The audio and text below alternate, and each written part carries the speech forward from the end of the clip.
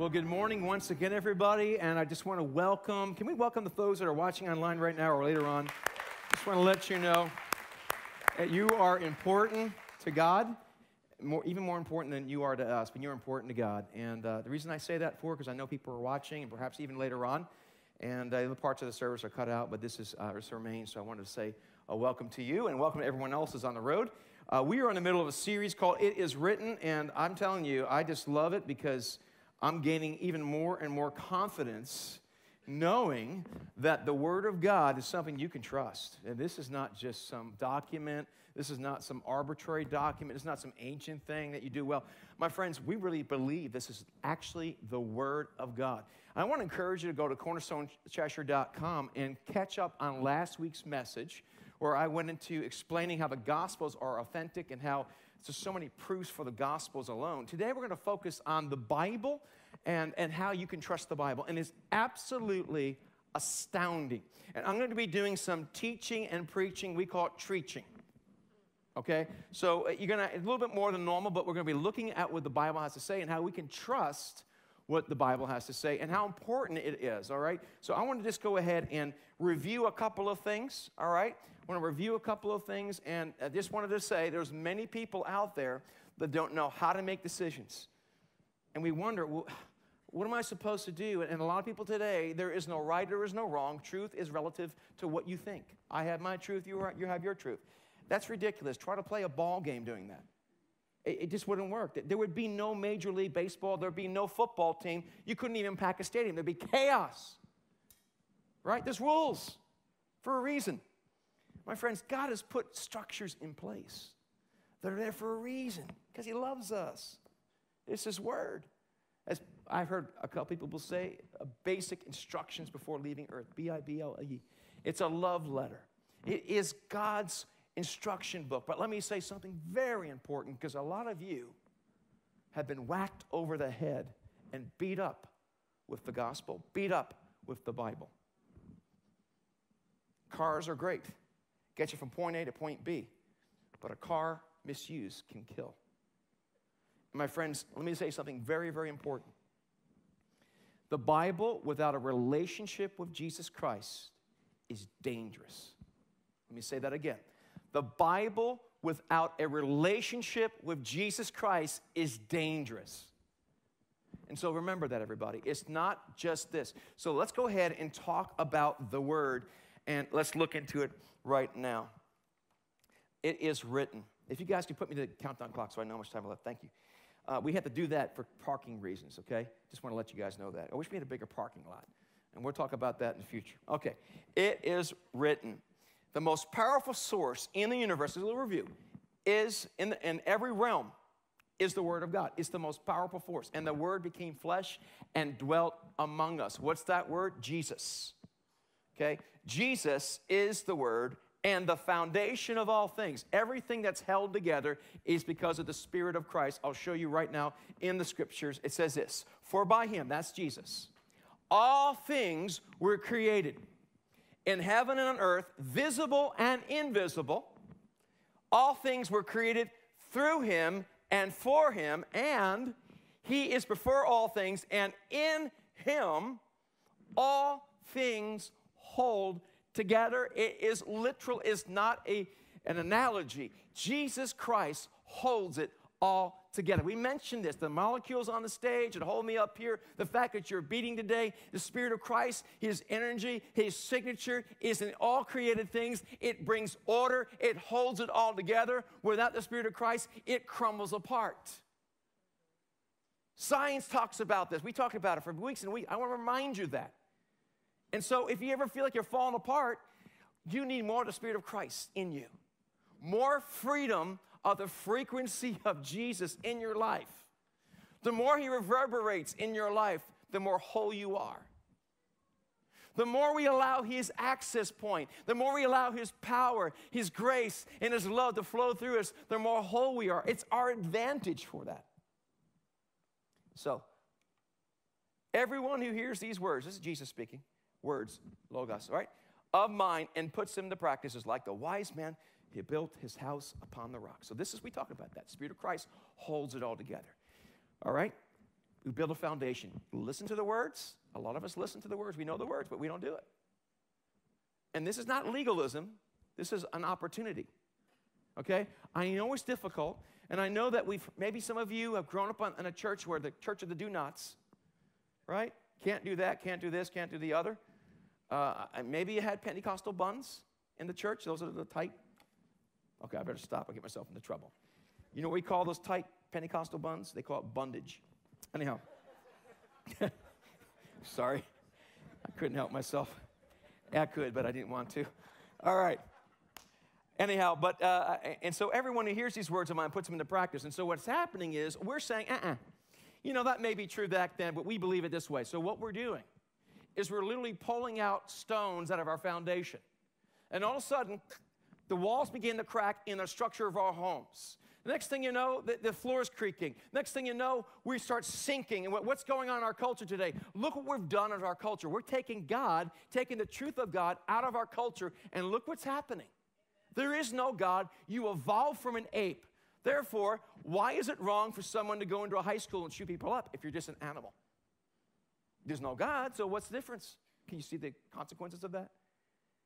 We see that you can do whatever you want to do, be whatever you want to be, doesn't make a difference. If you tell me I can't be something, then you're hating me. And you see the cataclysmic problems it causes psychologically. It's amazing. When you pull out the structure of how God has designed us, you actually do yourself harm. God is not up there saying, good. No, what we're doing is we're pulling things out of the foundation. And as we do that, we have disorder. Disorder causes chaos. And things begin to crumble. Not because God is angry, because you violate his moral codes. I hope you understand that, everybody, okay? So we're going through this right now. Question is this Can I trust the Bible? Last week we went through Gospels and we did a good, I did a good job. I think we did a decent job of trying to explain it to you. I'm not going to re preach it, okay? But can we trust the Bible? And resoundingly, I will say yes. In fact, I will tell you, I there's more evidence that will prove that the Bible is authentic and true and you can trust it and it's the Word of God then there is evidence to prove it's not. I'm convinced of it. Okay, this is what Jesus has to say Heaven and earth will pass away, but my words will never pass away. Kingdoms come, kingdoms go. I'll be here. One day this will be dust. One day the earth is going to blow up in fire. Aren't you encouraged right now by hearing that? One day the whole earth will be destroyed, but guess what's going to continue? It'll be remade the Word of God. The Word of God always was, always is. It's the constant, it's the one thing that you cannot touch you cannot change. The Word of God is the Word of God. He was, He is, and He always will be. He's the prime mover, He's the final. Heaven and earth will pass away, but my words will never pass away. And so, what we believe is what we believe that in the Bible, it's not the complete Word of God, but everything in here is completely the Word of God. So, this is the Word of God. There's 66 books of the Bible. How did they put it together and how did they do that? We'll talk about that a little bit more. We did a little bit last week and how they put the canon together. And the canon is simply an agreed, um, authentic, agreed upon books, which we can talk about another time. Uh, in fact, Pastor Rich is doing a course, How to Understand the Bible. Great. Encourage you to get involved with that. Still not too late. All right. We also mentioned this, and I'll encourage you to look at josh.org, not, not Josh in the church, okay? We have a couple Joshes. I'm talking about Josh can't remember his last name. What's his last name again? McDowell. Thank you so much. I, I apologize, everybody. I just can't remember everyone's names. Um, that's why I need Jesus. And that's why I need coffee. Praise the Lord. Josh McDowell. But uh, josh.org, you can go there. It's apologetics. What's apologetics? Apologetics, I hate the word apologetic. It's not like we're apologizing. We're not apologizing. But it comes from the Latin root. Basically, what it is to give a reason for what you believe uh, Peter says, be ready at all seasons to give, uh, to talk about the hope that you have. Listen, we're not trying to defend the undefendable. We're not trying to defend a tooth fairy story. Okay, this is true. And, and so we have nothing to fear about this. Truth can handle any inquiry. It really can. And this is what Jesus says I am the way, I am the truth, I am the life. A lot of us don't know where to go. Christ is the way. He is the truth, everybody. Okay? So he's not afraid of the truth. You can't handle the truth. Okay, I'm not going to say what movie that was. I'm such a heathen. But it, let me just say something about the Bible. It is truth. You will know the truth, and the truth will set you free. If you deny the truth, it will hold you in bondage and break you up. When you deny truth, it's to your own detriment, everybody. I hope you understand that. And so here we go. It's historically accurate. How do we know? The Bible is true. It's historically accurate. That what the Bible talks about history is accurate. It's not just something that it just talks about. In fact, truth is history. And, and you can see it in the history of the Bible. For the word of the Lord is right and it is true.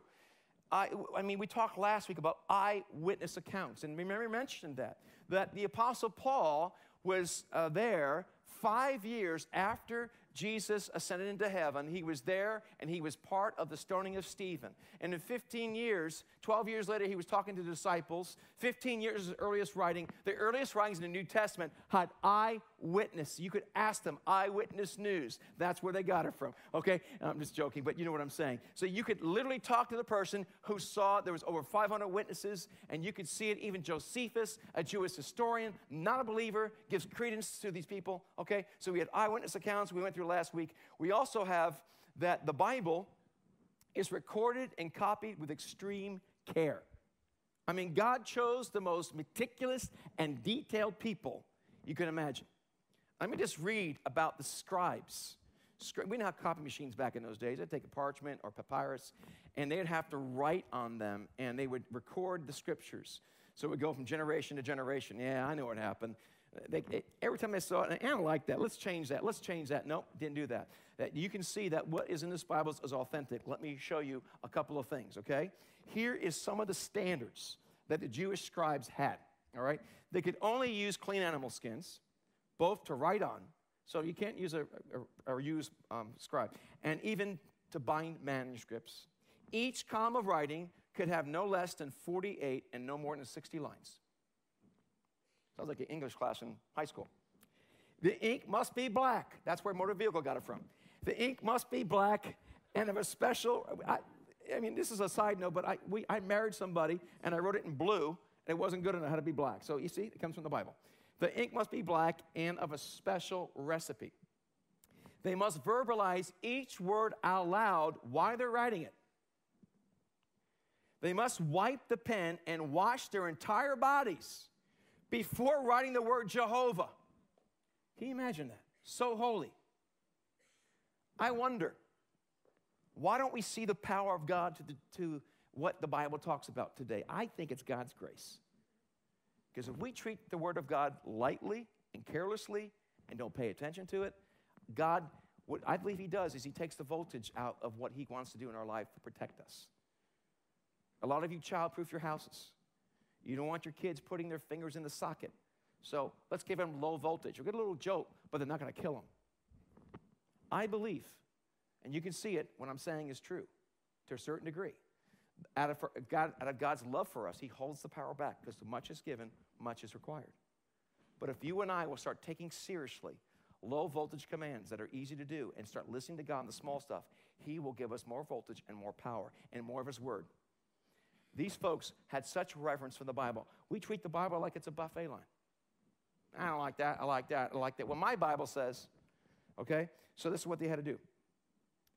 The documents, the letters and paragraphs had to be counted, and, and a document became invalid if two letters touched each other. Sounds like an English teacher. The middle paragraph and word and letter must correspond to those in the original document. So you'd write it, and you get the original document, and you'd have to go back and you'd have to see it. The documents could be stored only in sacred places, synagogues, etc. So this is what they would do. And so one of the ways we also know that a, uh, a document is authentic to its original writing, you have the document written and you have a copy. The more space that is in between them, the more subject it is to error. Hands down, and I'm not going to give you through all the examples right now to save time. I have all the examples here. But there's nothing that in the entire world, uh, any literature, any history that has as much as copies of the Bible and is closer to the date in the Bible. No way at all. We're talking about 400 to 500 year time gaps and most of the writings that we deem as credible history. And yet the Bible has 15 to 20 years in some places. Perhaps one of the greatest things we can see is the Dead Sea Scrolls. An amazing discovery in 1947 in the Jordan Valley, Jordan area, where you had uh, a Bedouin shepherd was throwing a rock somehow, and he heard it break, and he went in there and he found these scrolls, and they're called the Dead Sea Scrolls, found in 1947. They're absolutely amazing because the earliest Old Testament um, documents we had at the time of this were about 800 to 900 years after Jesus. That's the Old Testament we had. Those are the copies if we date them. Okay, check this out. Do you realize that um, the Dead Sea Scrolls, that they were written about 100 years before Christ? Written 100 years before Christ, the Dead Sea Scrolls were. Okay, what's the big deal about that? Well, almost all the books of the Bible, except for Esther and a few other places. You know what they did? They went back how much do you think changed within a thousand years? By the way, you have the early manuscripts 100 years before Christ, and the later ones were 900 years after. That's a thousand years between the Old Testament copies of the Dead Sea Scrolls and the a thousand, a thousand years. That's a long time. How much do you think changed in that a thousand year gap as you compare the text? If, if you listen to the contemporaries of today, oh, they changed it. Guess how much changed? About 5%. You know what it was? The spelling of names and people, places and people. That's it. It is absolutely astounding. It's incredible how detailed these scribes were. That you have a, a, document, you have the Bible, you have the Old Testament, a thousand years, and there's very little change. In other words, what we're saying is what we hold in our hand, the Old Testament, is authentic to its original writings. And Last week, we spent a little bit more time on the New Testament, the Gospels that we have, the letters of Paul, Peter, James, and John, right? And they are authentic to its writings. The early church fathers knew some of the apostles, and there is a, a line of authenticity for the New Testament and the Old Testament. So, what we can say with a, without a shadow of a doubt that the Bible that we have in our hands is authentic to its original writings. Okay, it was not changed and uh, like like like the Quran was in other books, like the Book of Mormon. was. It wasn't changed. If I just insulted you, I'm sorry. So we had eyewitness accounts recorded and copied with extreme care, archaeological confirmation. For example, I don't know if you realize this, but uh, you can. They used to say we're not quite sure there really was a city of David. They dig up the city of David in Jerusalem. What do they find? They find they find a relief of a building that says King David. They find all these things. They, they find, um, I could go on and on and on. For example, they said the Hittites don't really exist. That was made up in the Bible. There's no such thing as Hittites. About 30 to 40 years ago, they dug up a city. Guess what they found? The Hittites. The Bible also talks about that Solomon had thousands of horses. Ah, they're exaggerating. They didn't, most people had camels back in that day. They go to Megiddo, they dig it up. We were there. We had a trip, by the way, to Israel. We're going to have one in 2022 uh, Lord willing, the creek don't rise. And, and we went there and we saw horse stables that could, that could house hundreds and hundreds and hundreds of horses. So we, there's time after time after time. The Bible says something, you look it up. You can find Jericho.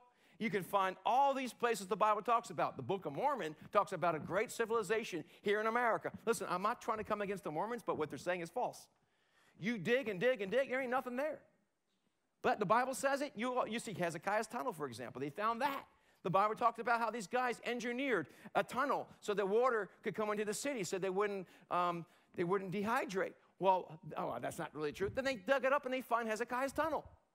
The pool of Siloam, you can find that where the man was healed. I actually walked through it this through this time. So you can see what the Bible says something. You can go there, you can find it, you can dig it up year after year after year. They're finding more archaeological evidence to support the Bible. There is no contradiction at all.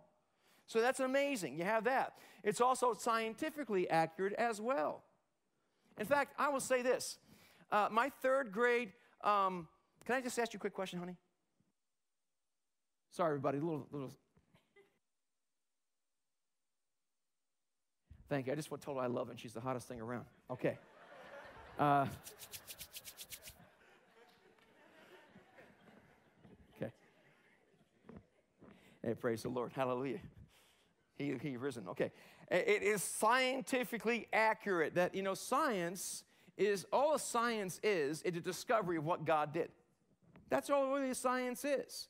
And we can see that the Bible has done that. And in my third grade textbook, a lot of things it said were completely wrong now. What we deem as scientifically accurate is completely wrong. In fact, look at some of these things that used to happen. In the book of Psalm, it says this Let every creature thing give praise to the Lord, for he is issued his command, and they came into being. He set them in place forever and ever. His decrees will never be revoked. Okay, his decrees. What are some of his decrees? What's that all about? Well, let's, let's look at this for a few moments.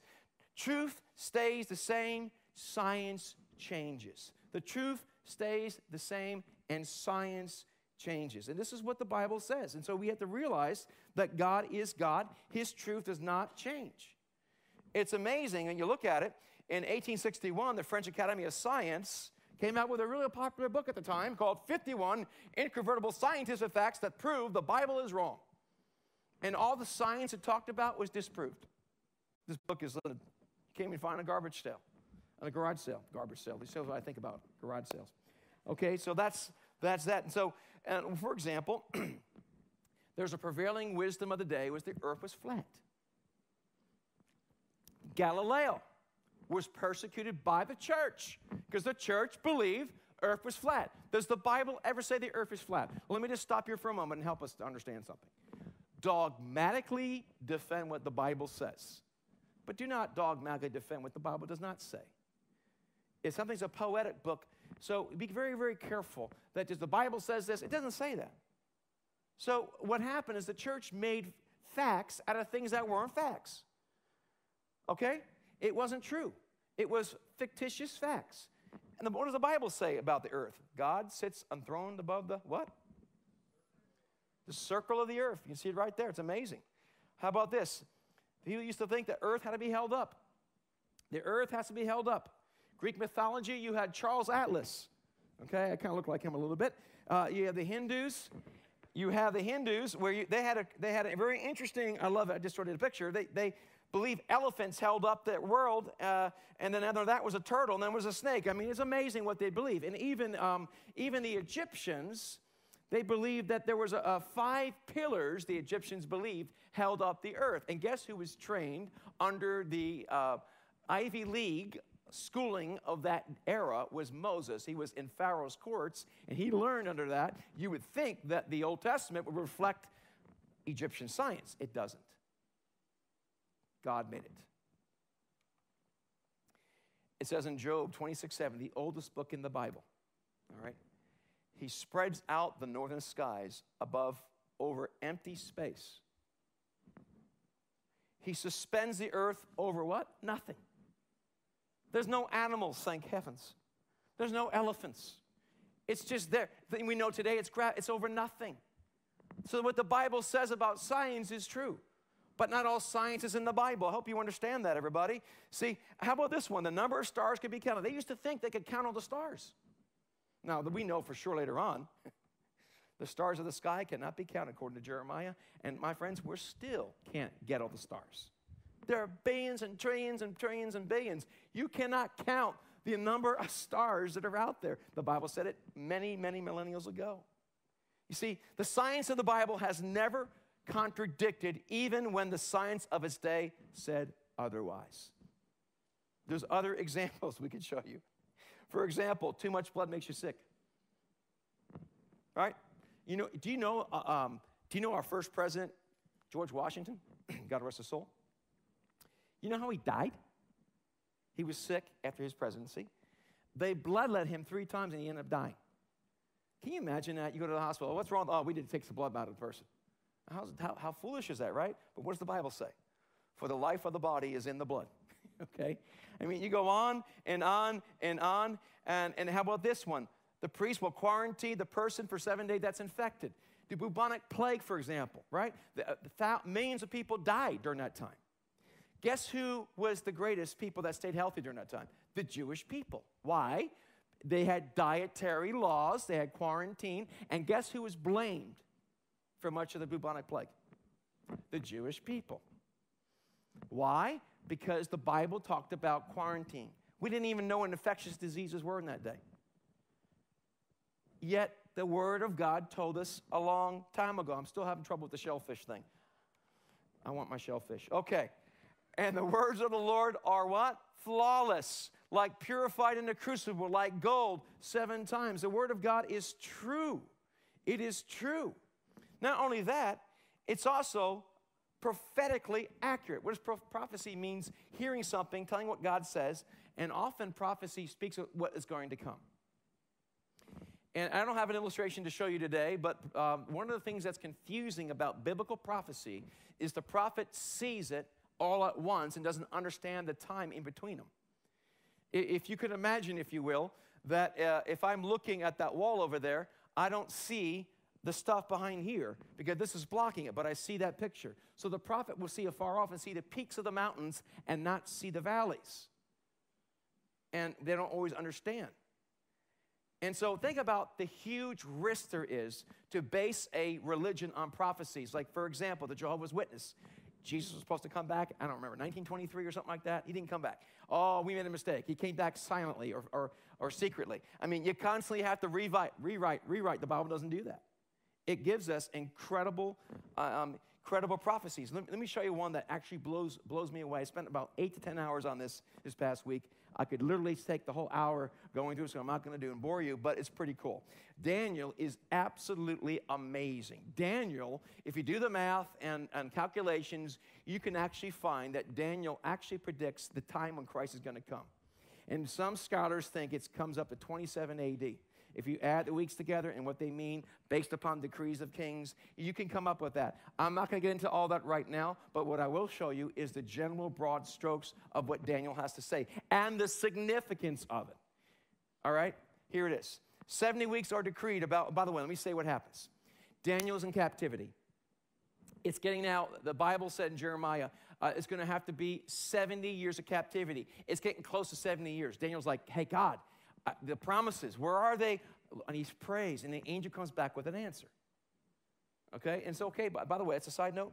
When God's word says something, go ahead, pray about it. Ask God why. And that's what he was doing. So, this is what he gets from the angel. All right?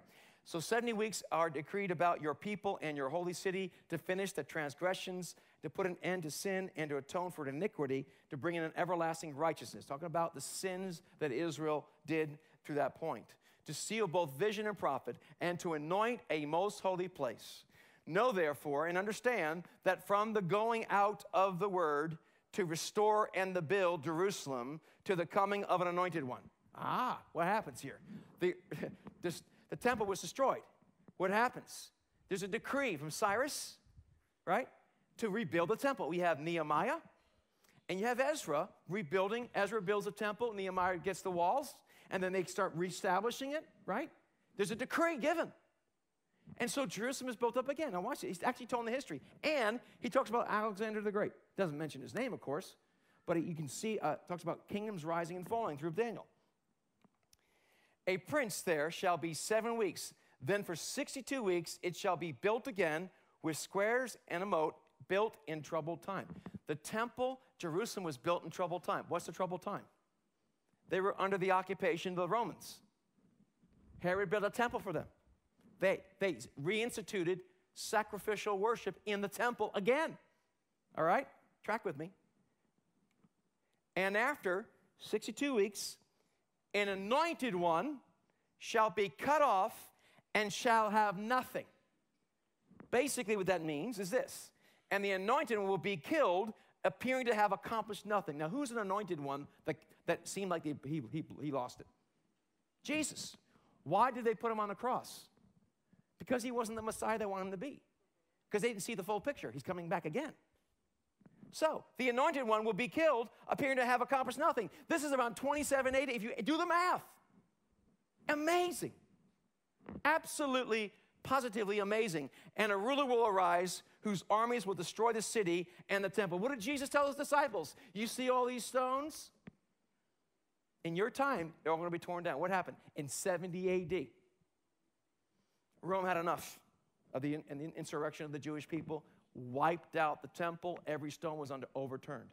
And then it talks about a new temple being built. Right now in Jerusalem, there are people that are getting all the artifacts ready. The moment they say you can do it, it will pop up so fast, your head will, it, it, it really would. It's amazing. Uh, we're on a prophetic time clock here, folks. It's amazing. And it's almost like a certain thing happens, you hit the clock. And so here you have it. And will arise whose armies will destroy the temple in 78. That's what happened. The Jewish were spread out throughout the world. They didn't get back till 1948. 1967, they got the temple mount again, but they still haven't built a temple yet. Very significant, extremely significant, prophesied thousands of years ago. You can't make this stuff up. It's clear. In fact, it, it says also, and, and, he shall make a strong covenant with many one, for one week, and for half the week he shall put an end to the sacrifice and offering. It goes on, and on the wing of abomination shall come one who makes desolate until the decreed end is poured on the desolator. So again, I just want to show you the context of it. I don't have time to break it out, but now it talks about the end times. So we have a halftime. We had a, we, right, right now we're in halftime. The play, there's an intermission. And the play's going to start again. Christ was going to come back and complete the work he began. This is amazing. There is a book written by uh, Dr. Peter Stoner uh, called Science Speaks, and he had 600 researchers help him about probability. For example, if I have a bucket of tennis balls and I paint one tennis ball red in a bucket of red, so I have nine um, yellow ones and one red one. I put my hand in it. The probability of me picking that out is 1 out over 10, right? Well, check this out. One person fulfilling eight prophecies is in 1 in 10th to the 17th power. What is that? That's the number right there. According to the book, this is amazing. Uh, you know Texas, right? Texas is its own country. Imagine, if you will, taking a silver dollar, spreading the entire state of Texas, two feet of single silver dollars, taking one silver dollar, painting it white. I'm, I'm sorry, painting it red. Put someone in a helicopter to fly over Texas and arbitrarily land it and pick up a pile, pick up a silver dollar, and it's red. That's the probability of, of one person fulfilling eight. Okay? One person fulfilling 16 prophecies is one in the 10th 45 power. I, I can't even begin to understand. I mean, that's looks like the national debt. I mean, that's, that's a lot. Uh, just print more, just print more. Uh, one person fulfilling 48. I mean, look at that, everybody. Uh, that's incredible. It's absolutely incredible. Yet Jesus fulfilled over 300 prophecies. Born in a rich man, uh, um, buried in a rich man's tomb, comes out of Bethlehem. How about this? Blow you away. Isaiah 53, you read that thing, holy mackerel. It actually talks about what he went through, about how he was bruised for our iniquities. It talks about that. Psalm 22 talks about crucifixion before it was even invented. It's amazing. It talks about a virgin shall conceive. I mean, all these things in the Bible, there are prophecies over prophecies over prophecies. I can understand trying to make a few take place. But how do you how do you orchestrate where you're born? and where you die and how you die. You can't do that. It's absolutely amazing. How did all this happen in the scripture? This is how it happened. For prophecy never had its origin in the human will. But prophets, through human, spoke from God as they were carried along by the Holy Spirit. God speaks through people, and they write down by inspiration what he says. In Matthew 26, 56 says this. This is Jesus speaking. But this is all happening to fulfill the words of the prophets as recorded in the scriptures. Jesus actually talks about this with them. In the book of Revelation says this. These words are trustworthy and true. The Lord the God who inspires the prophets sent his angel to show the servants the things that must take place. We're going to have to move on a little quicker here, but let me just go ahead and mention a few things. It actually, this is true, it actually takes more faith to believe the prophecies of the Bible are coincidence than to believe that God planned them. I mean, how do you make all these coincidences? I can understand one or two. My friends, indisputable. And that's not, there's even, and there's more. we're not just talking about that. It's also thematically united. I mean, I get my kids, uh, we want to, what, let's go out to eat. I want to go to Chipotle. I want to go to Chick fil A. I, I want to go this way. I want to go. I mentioned Chick fil A again. Someone says I mention it every sermon. I do not. I don't know why. Lord help me.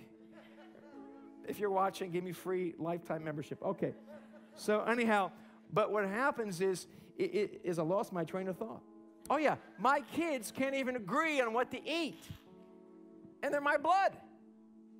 You have, you have all these people over, over 40 different authors, 16. I mean, it's, it's absolutely amazing when you think about how the Bible is 1,600 years, 40 different authors over different countries and continents, and it all agrees together. No, it doesn't. Yes, it does. I'm telling you right now, you see Jesus from Revelation all the way to Genesis, you can see the Bible work. It's amazing. The numerology, I mean, it all works together. The story, I mean, my friends, it's supernatural. There's no one that could come up with a book like that. No revisions. It is, it's thematically unified.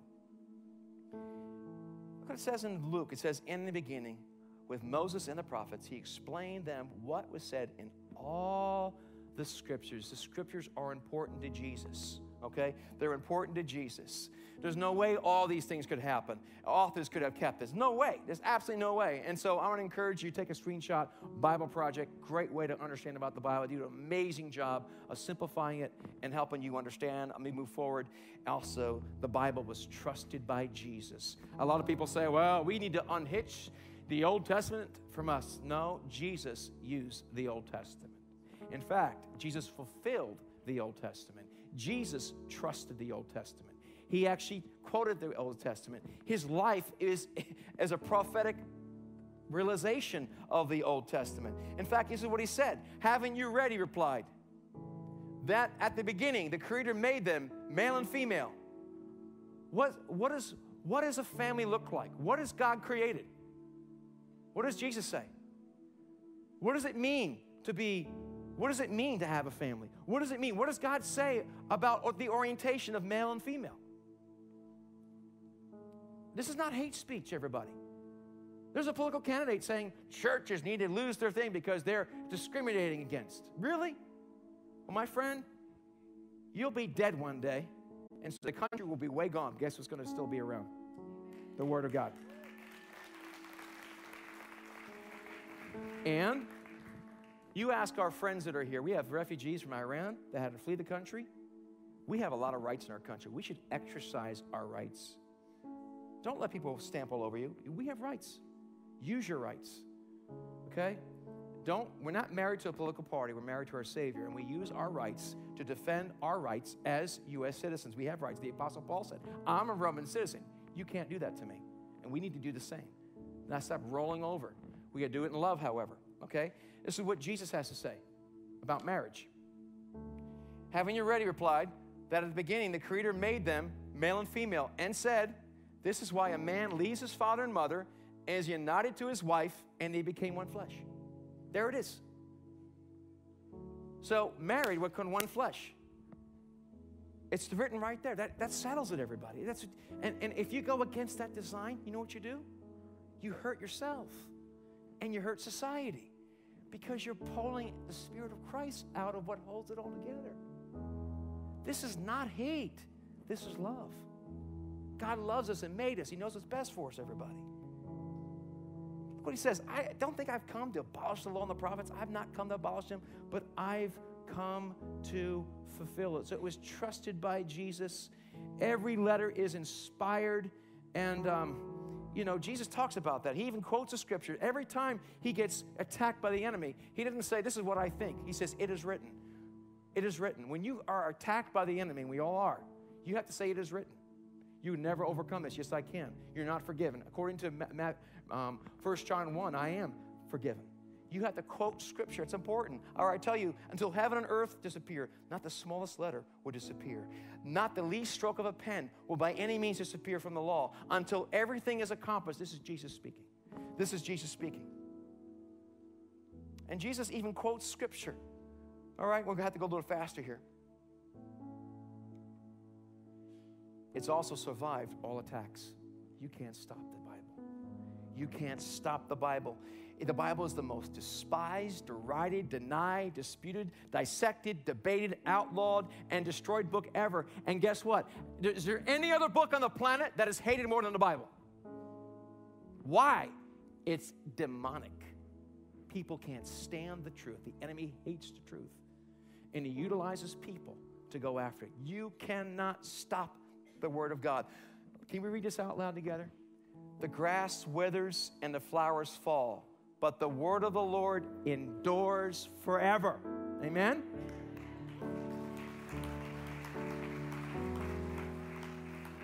Finally, and I really mean finally this time. They say pastor's live when they say in closing. It has transforming power when you add Jesus to it. I'm telling you, it has transforming power.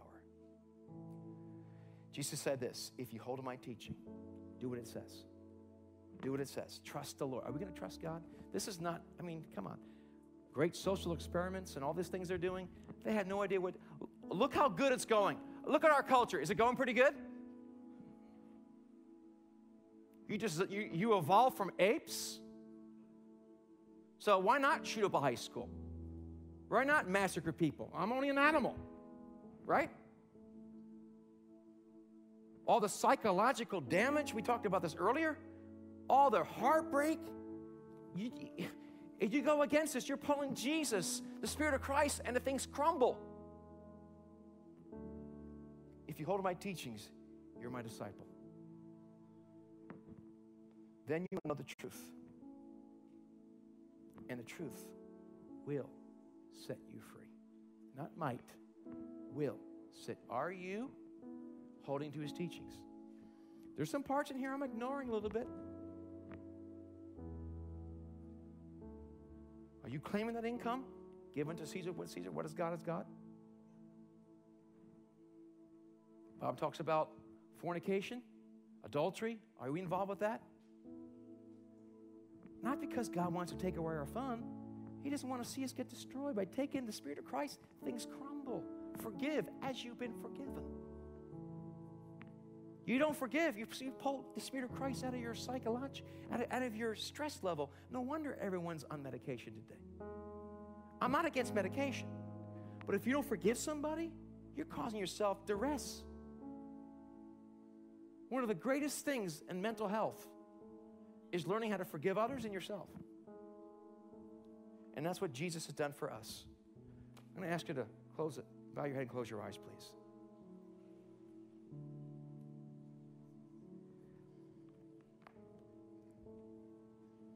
Lord Jesus, I recognize, we recognize today, we say we love you, we say we trust you. But Lord, myself included, we treat you like a buffet line. We take a little of this and a little of that, and we leave stuff that you've told us to do.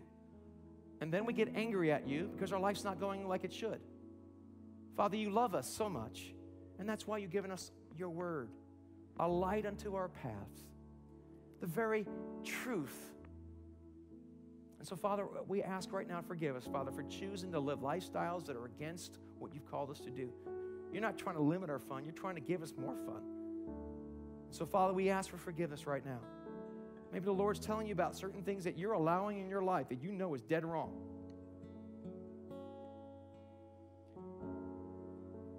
Pirated music. I mean, stuff like that. Just little stuff. Oh, no big deal. Yeah, it is a big deal. He's truth. All these things, Lord God. Let me ask you another question. With every head bowed and every eye is closed, let me ask you a question. How are you with Jesus? Have you given your life to Jesus? Are you absolutely positive? If I were to die right now, I have absolutely no doubt I'd be in heaven. Why? I've given my life to Christ.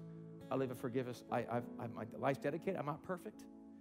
I am absolutely for certain. If you don't have that certainty, you can have that certainty today by putting your life and trust in Jesus Christ. Maybe some of you used to walk with God, but you pushed him out. He used to have the whole house. Now he's got the closet in the foyer. He pushed him out of everything. Today's the day of salvation. How many would say today, I used to walk with God and I, I pushed him out, and I want to get myself right with God again? Or how about this? I've never completely surrendered my life to Jesus. It was always a caveat. But are you willing to put that aside and say, God, the best way I know how, I'm giving my life to you? So I know better how to pray. I'm going to ask you to raise your hand and say, I want to give my life to Christ for the very first time. Or I want to renew my commitment so I can my eyes can meet yours. Just raise your hand if you're good. Whoever would like to do that today. I'll pray with you today. Anyone today? Thank you. Thank you. Anyone else this morning? Okay, let's pray this prayer in your heart. Lord Jesus, thank you for dying on the cross. I believe you are the Son of God. I believe you rose again from the dead. Today, I ask you to forgive me of all of my sins, both known and unknown. Thank you for what you did is enough. And today, I resign from being the boss of my life. I give my life to you today completely. Now, fill me with your spirit and help me walk the path you have for me today. In Jesus' name, amen. If you look up